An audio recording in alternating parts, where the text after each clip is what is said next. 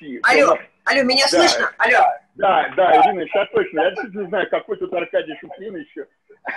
А, вот, э, надеюсь, меня не видно, но слышно. Алло, слышно меня, да? Да, да. да а да, вот мне кажется, вот то, что вы говорите, это чистый гусар. Что же тут такого удивительного?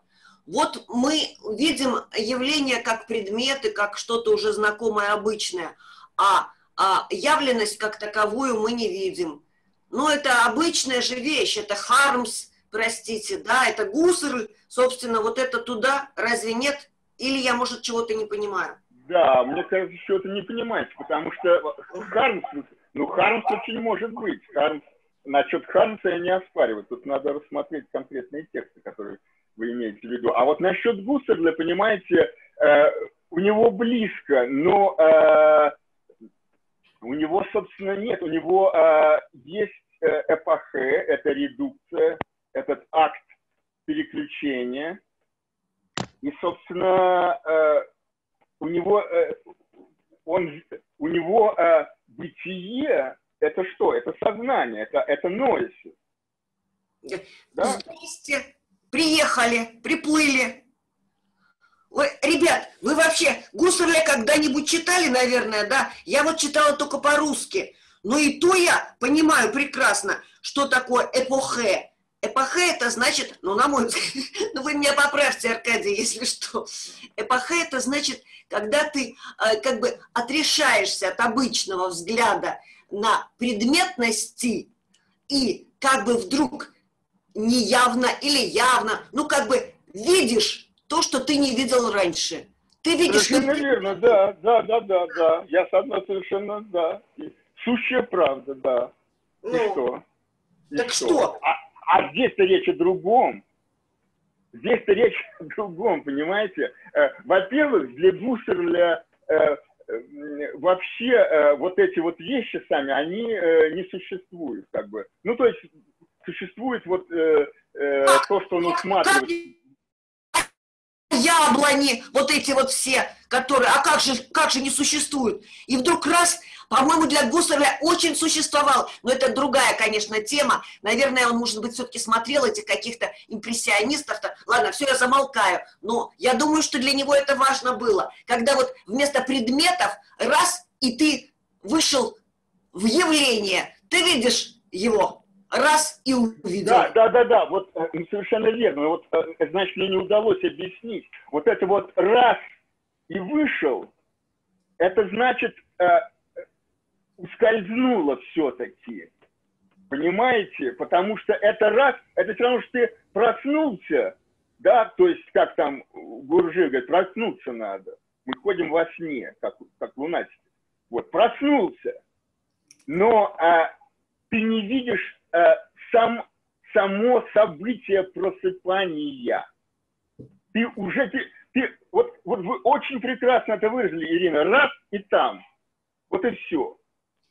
А, а, а здесь речь о том, что вот это э, само, это раз, это не просто раз, оно раз распаковывается. Это не какой-то э, щелчок тумблера, а это то, вот увидеть Э, вот этот само, сам этот переход или выход, вот где это э, ускользнувшее бытие.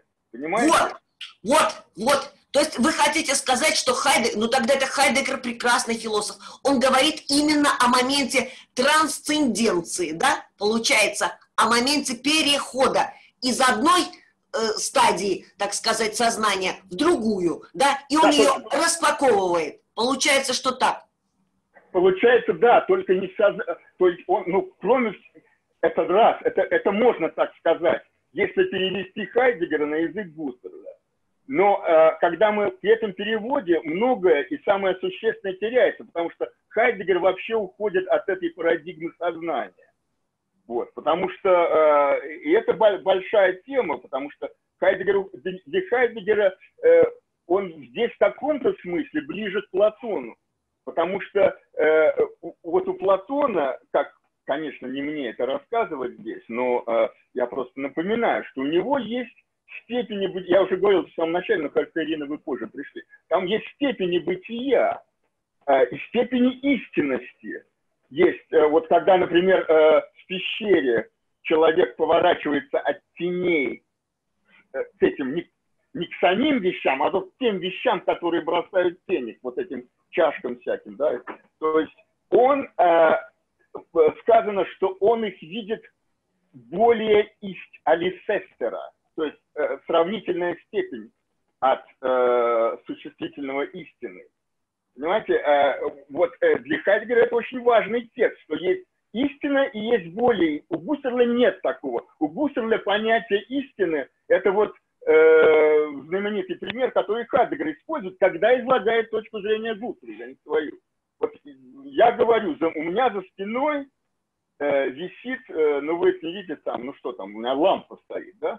Ну, я сейчас ее вижу, плохой пример. Но у меня, допустим, я, у меня нет экрана здесь, да, я, то есть, я говорю, у меня за стеной висит картина, за стеной висит картина. Я сказал, вот я повернулся, о, а там действительно картина. И вот это по Гусселю и есть истина. То есть у меня была пустая интенция, я мыслил картину, но у меня не было интуиции ее. Теперь я вот с этой мыслью обратился к самой картине – да, кот, вот, мне подсказывает, кот. Ну, кота я тоже вижу. Ну, простите, здесь тогда надо отключить видео, и тогда вы меня уже не увидите. Ну, как-нибудь потом инсценируем как-нибудь. Вот. А, так вот, вот у Гуссерля понятие истин. Тут да, нет. Тут опять Гуссерль остается в этом смысле по отношению к истине ответственный к бытию, вот этой бинарной оппозиции, истина, не истина. А Хайдегер нет. Вот, и особенно это видно в этом тексте. То есть э, он верен Платону, Хайдгер больше платоник здесь, чем Гусар, потому что у него есть степень бытия. Ну, кот не подлинно сущий, ну, ну ладно, почему? Это надо еще понять, почему. Это, конечно, опять это как бы, то есть мы где-то читали, знаем, но надо это увидеть, да, почему, а нет, не очевидно, что он не подлинно, почему вполне аутентичный код. Да, мимесис кота, понятно. Э, э, хорошо. То есть, понимаете, Ирина, здесь э, вот вся, вся тут еще, кроме того, что распаковки этого раз, как вы говорите, и там, кроме того, что это раз и там на самом деле распаковывается, а, то а, еще при переходе от Гуссерля а, есть такой вот возврат к Платону некоторые, когда быть, бытие и истины э, уже э, перестают быть бинарными. Э, потому что есть уже не мыслят в парадигме бинарной оппозиции. Вот это предложение за стеной, за стеной у меня там кот. Я вас понимаю. Аркадий, не... можно, да? А, понимаете, дело в том, что любой нормальный наркоман вам скажет, что он гусарлианец. И я таких слышала, потому что вот, его не было, а вот оно и появилось. Понимаете? А вот когда вы говорите, что Хайдегер какими-то там этими вот э, местами там что-то там распаковывает, вот мне интересно, как эта распаковка-то делается? Это что? Через рефлексию? Как это делается? Вот это я хочу услышать от вас. Извините, да. Именно в этом семинаре. А, как это делается? Ну, может быть, это будет... Ну, в этом семинаре мы сначала будем говорить об этом тексте, где он, э, собственно, является гельменестом, где он интерпретирует платоновское учение об идеях. И, э, но э, вообще-то говоря, по Хайдегеру это происходит, в общем-то, в поэтическом творчестве. Поэтому он в конце приходит к тому, что э, как, э, я забыл как точно, но что поэзия, настоящая философская поэзия, понимаете? То есть, э, э, вот э, если вы увидели что-то, когда мы читали это стихотворение, то вы увидели, э, если вы вошли в это состояние, которым был, которым, из которого стихотворение написано, то вы увидели, что этот ник – что, что там не что там что-то является, вот, что, что, э, что э, само явление является, а, а, а не только что-то является в явлении.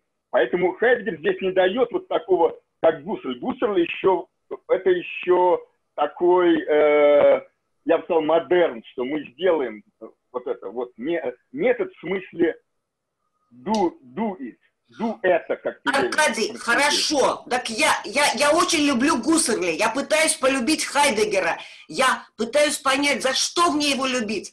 Я знаю его поздние вещи, я знаю про ботинки, про этих едоков картофеля, вот за это я его люблю, за разговор там с каким-то там восточным человеком, за это я его люблю. Но биф, простите, но это же, за что тут его любить? Это же ужас, это такой же кошмар, как и Сартр какой-нибудь. Это же не менее кошмарная, ужасная вещь.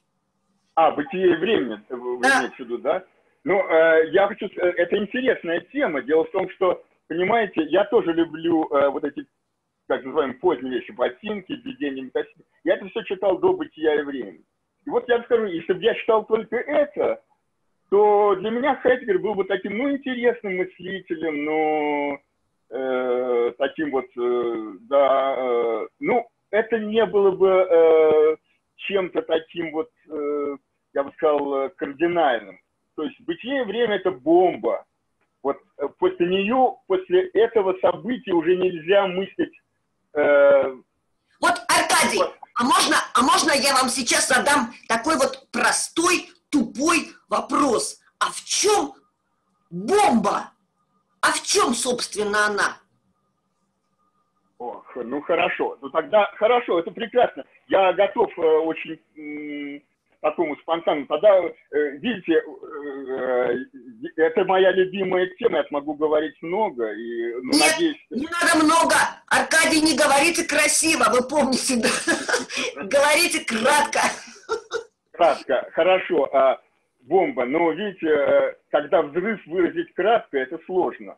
Знаете, это сказать просто о взрыве, ну, ну я попробую. Но, но э, прежде всего, э, ну, вам, конечно, хочется сравнить с Густерлем. Да? Э, так вот, э, у Густерля это что-то, он говорит о вот этом раз и там, в каких-то лабораторных условиях, э, как он говорит, в одиночестве душевной жизни.